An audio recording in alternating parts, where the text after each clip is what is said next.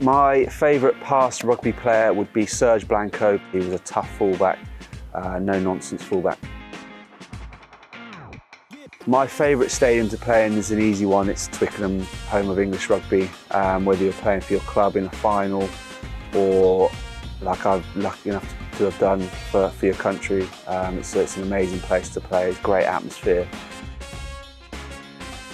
Now I'm at Leicester, would be playing against Saints. I've not yet done it, um, but I'm desperate to, to play in that derby, having watched it from afar um, as a rugby supporter, you know, the intensity, the atmosphere, how passionate both fans are about the derby and also now being in the, in the Leicester environment, how passionate they are about, about that game.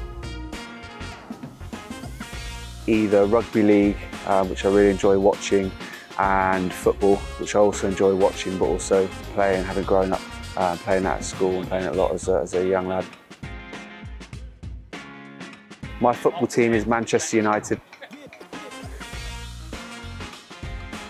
There's actually two, so firstly David Beckham, um, and then secondly Roy Keane.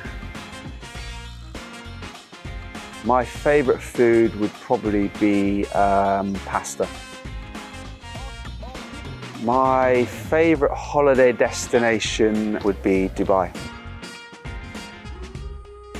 My favourite animal is tiger. I probably don't have one favourite type of music I like, um, bit of dance music, R&B, hip hop, sometimes a bit of pop as well. If no one's around, I'm in the car. Um, so yeah, like a full range of, of music. Oh, I'm not, I am not a karaoke person, absolutely not, no. Easy.